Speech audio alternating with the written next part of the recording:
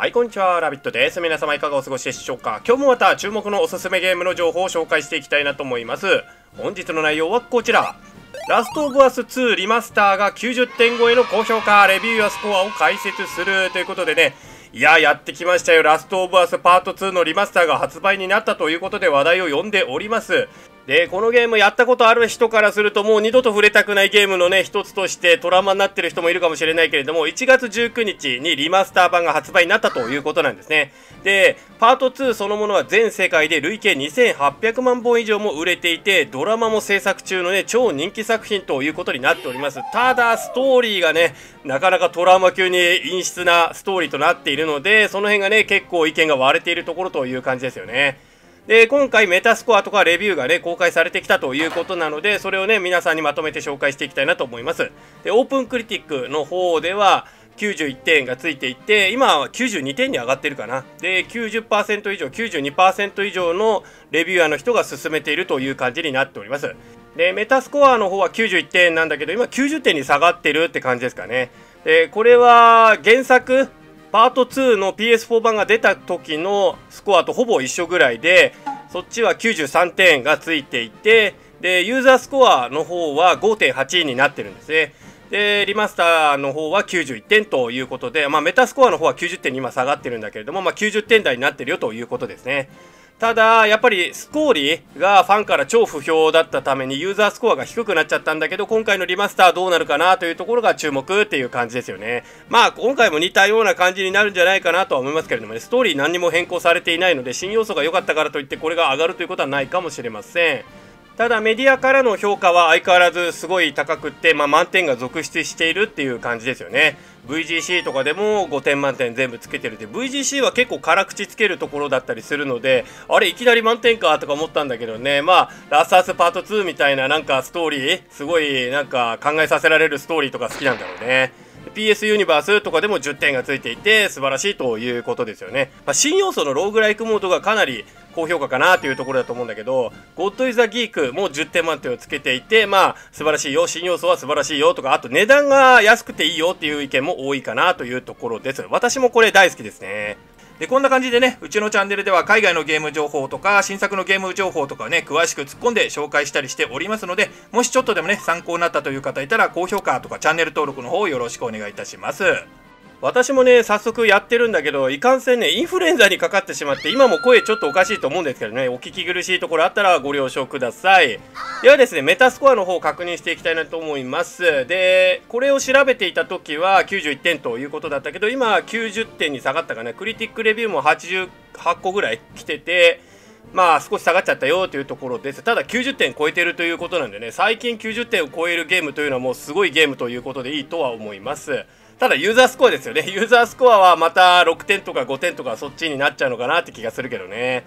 で、オープンクリティックの方はマイティを獲得していて、こっちはなぜか上がっていたんですよね、最近に。今44個しかない時のこれデータなんだけど、今60個ぐらい来てて92点になっていて、こっちでは90%だけど92%のレビューアーの人が進めているよということになっております。で、プラットフォームはもちろん PS5 だけということですよね。でレビューアーの人がどんなこと言ってるかをちょっと見ていきたいなと思うんだけど、まあ、93%のレビューアーがポジティブということで2%いや3%がミックス2つだけねミックスってことですね。で、これメタスコアの方で現在は90点に収束しているって感じなんだけど、ゴッドイズギークとかではローグライクがすごく面白いと。ローグライクモードが新モードなんだけど、すごい追加されたモードなんだけど、すごい面白いという意見が多いですね。私もやってみたけど、すごいね、面白いなと感じましたね。ただ、さっきも言ったけど、インフルエンザにかかっちゃってて、熱でぼーっとしながらやってるから、もう全然わけわかんないプレイになっちゃってて、やばいだろみたいな感じだったんだけど、まあ、風が治ったらね、楽しく遊べそうだなという印象です。でハードコアゲーマーもすごいなんかもう100点ですよね。もう100点100点100点って感じなので、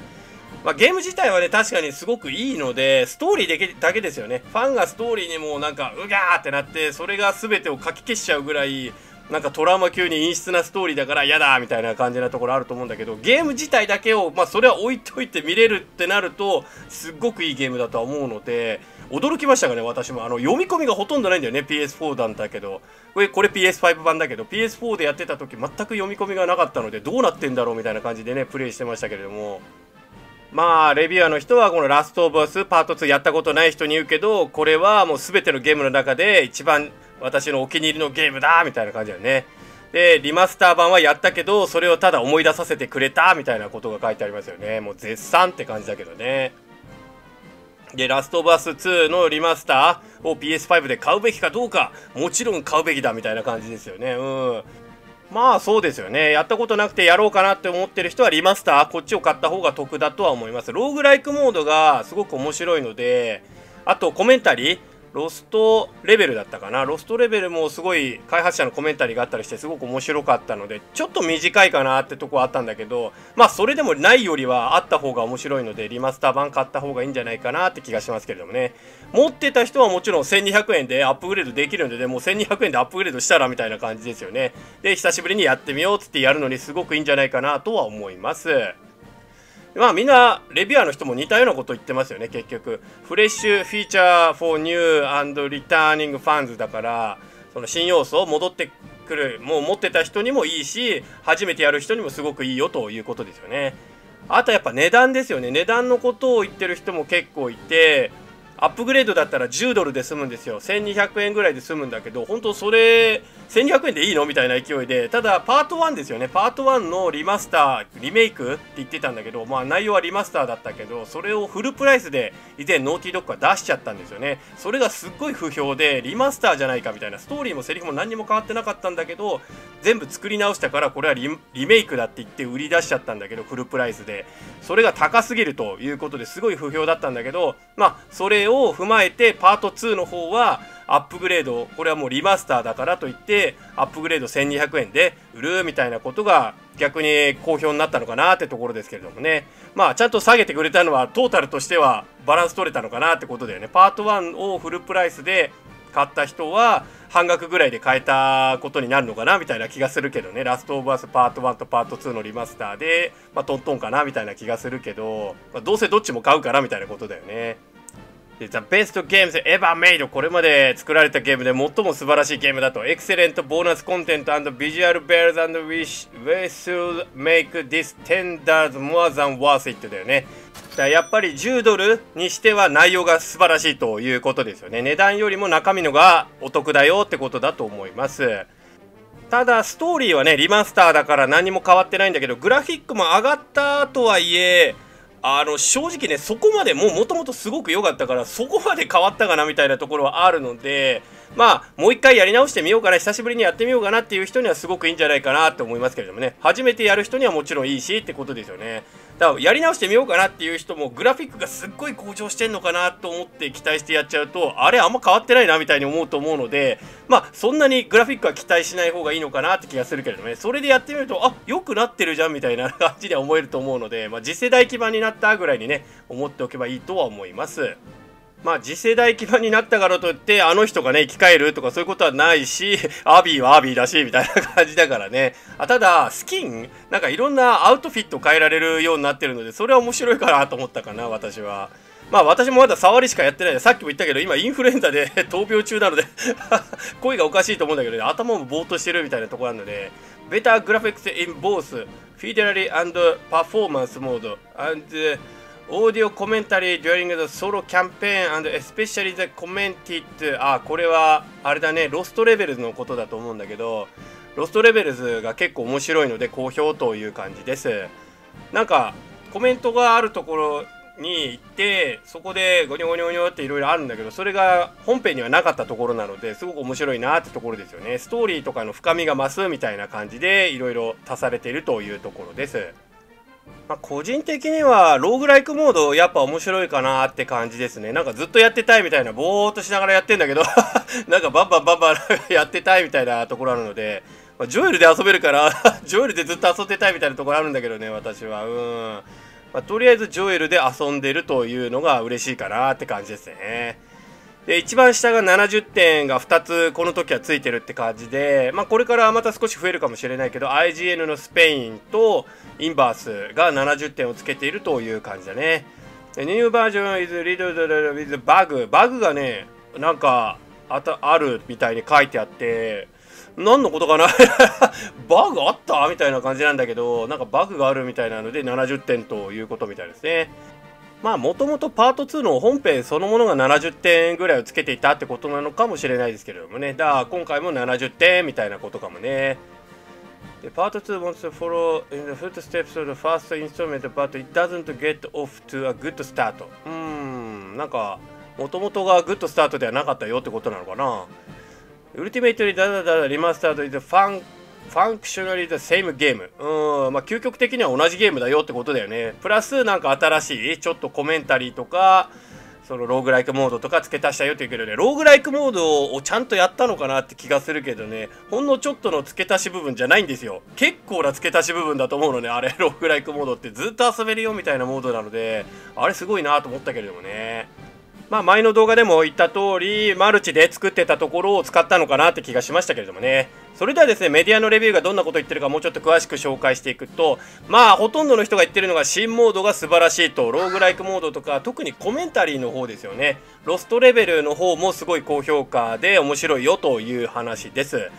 気になったのが、ギターモードが追加されてるんだけど、これについて言ってる人がほとんどいなかったので、ギターモードどこ行ったみたいな感じだったんだけどね。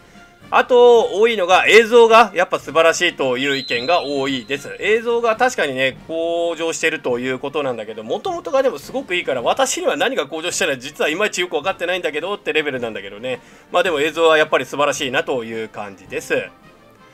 で、やっぱりね、多いのが値段が安いと。もう中身がそれ以上あるよという意見が多いです。これは私も思いました。1200円で開発陣の給料払って、その全部これ足すっていうのはすごい赤字なんじゃないかなっていう印象を受けたけれどもね。まあ、それぐらい中身が濃いということでいいと思います。新しい要素がね、やっぱ楽しいなというところです。で、他に多かったのが、そうですね。まあ、ストーリーですよね。今でも引き込まれるストーリーが素晴らしいという意見も結構あったりしました。その、久しぶりにやってみたけど、やっぱり、その引きつけられる。もうこれ見たようじゃなくて、やっぱりなんかずっと見ちゃって泣いちゃうじゃないけども、すごいなんか嫌な感情が湧いてくるとか、なんかそういうのが素晴らしいという意見も多かったです。で PS5 ということなのでデュアルセンスハプティックフィードバックとかアダプティブトリガーへの対応がまた素晴らしいということですごく面白いという意見が多かったですまあこれはパート1の方でもそうでしたよね。デュアルセンスへの対応が面白いということで、まあ、私もアダプティブトリガーはオンにしてすごい楽しんでやってますけれどもね、すごくいいなという感じです。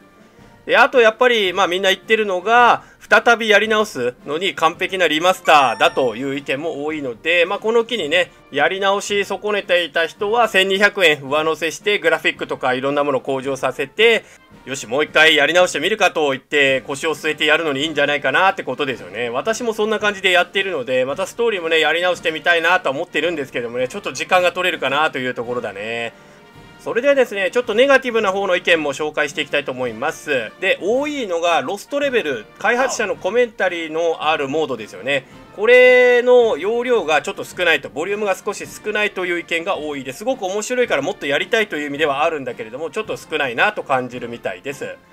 で新モードにストーリーが何もないという意見も多いですただこれはあった方がいいっていう話じゃなくて新モードは新モードで面白いんだけどローグライクモードはそれでただ何も考えずずっとやってたいモードなんだけどストーリーみたいのは一切ないよということなのでもしなんかストーリー的なものを期待してるんだったら全くないよと思った方がいいかなぐらいの話ですよね。で他にあるのが新モードの、まあ、ローグライクモードの難易度が急に上がりすぎるという意見もありましたこれはよくわからないんだけどもともと難しいなと感じながら、まあ私ぼーっとしながらやってるからなんだけど なんか難しいなと感じていたので、もしかすると進んでいくとガーって急にね、レベルが上がるのかなって気がします。で、他に言ってるのがあんまないんだけど、たまにペースが悪い時があるという意見を言ってる人がいたりして、何のことだかわかんないんだけど、ストーリーのことかなみたいな。なんかアビー編に行って、あの、エリー編に戻ってくる時のそのペースが悪いとかそういうことなのかなみたいな私はとにかくそこが一番不満だったんだけども 忘れちゃったよエリー編みたいな感じで戻ってくるんだよねあれが面白いなといえば面白いんだけどで他にあった意見は映像の上昇は確かにあるんだけれども最低限といえば最低限だという意見もあったりしました。まあそんな感じとなっております。皆さんはねどう思いましたか？よかったらねコメント欄でご意見をお聞かせください。他にもねラストバースとかについて詳しく知りたいという方は動画たくさん上げておりますのでよかったらね概要欄のリンクとかこの後出てくる動画とかクリックしてみてください。